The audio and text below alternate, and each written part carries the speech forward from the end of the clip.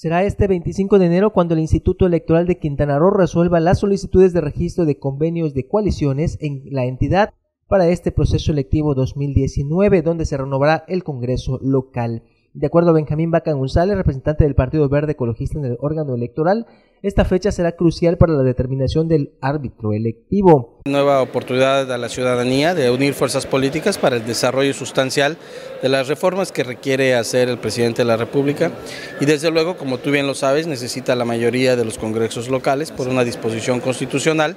y qué mejor que se busque a través de la intención del electorado el que se puedan conjuntar fuerzas, sobre todo ideas y acciones que van encaminadas única y exclusivamente al apoyo ciudadano. Como tú bien lo dijiste, hay una carta de intención que se presentara que obviamente el Instituto Electoral de Quintana Roo, el OPLE, hizo una valoración de la misma documentación, eh, por llamarlo así, se apercibió a los partidos políticos por si les faltó algún tipo de documentación, hay que dar cumplimiento al mismo hasta eh, en fecha 22, que es el plazo que se da, y el día 25 dictaminará desde luego el Consejo General eh, los efectos que haya tenido eh, la, aprobación o no en su caso de la asociación. Desde luego que no podemos decir que es segura porque hay que determinar los plazos que el mismo OPLE determina y ellos hacen la última valoración. Pero bueno, la intención es esa, eh, vamos con todo. Los partidos políticos Acción Nacional de la Revolución Democrática y Encuentro Social pretenden conformar la coalición Orden y Desarrollo por Quintana Roo, en tanto Morena, Partido Verde Ecologista y del Trabajo,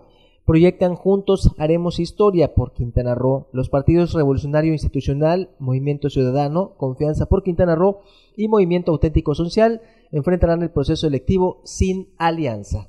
Con imágenes de Diego Ceballos para Notivisión, Juan Pablo Hernández.